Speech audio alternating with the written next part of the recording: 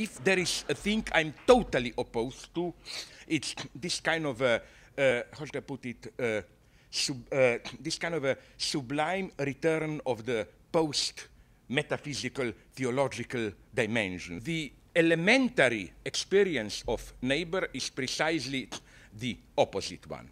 I experience someone as neighbor. Let's say there is someone whom I know very well all my life. And then all of a sudden, this person does something usually evil, something totally unexpected, which shatters my perception, my knowledge, my understanding of him or her. An evil smile, a, a, momentary sadistic gesture or whatever, like you, you kick a small child, whatever. How can you do this? At that point, he becomes a, a neighbor. Okay, it's weak. I accept it. If you accept that precisely because it's weak, it needs a strong secret police and so on to, to, to defend it, no? Then I'm for weak thought. Somehow everything is controlled, manipulated to guide you, as if it's a very nice paranoid vision. This is how ideology today works, through this false humanization.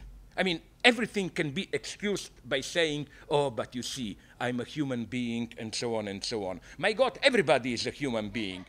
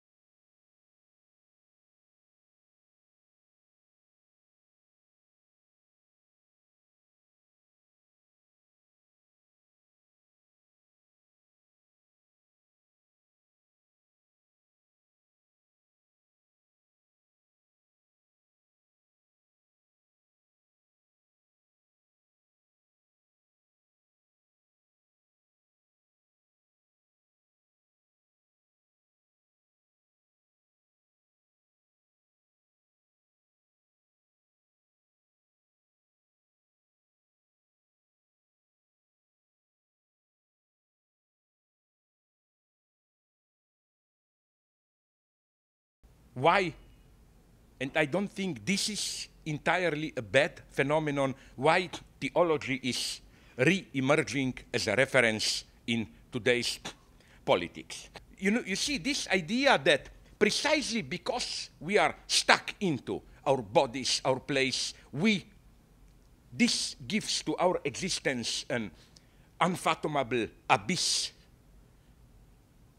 that sustains it, which is the proper place of spirituality. A toxic subject can be an immigrant with a deadly disease, Ebola, whatever. We, we must quarantine him. It can be a terrorist who should be prevented or should be sent till now to Guantanamo. Now we will see where. I'm sure other places are prepared.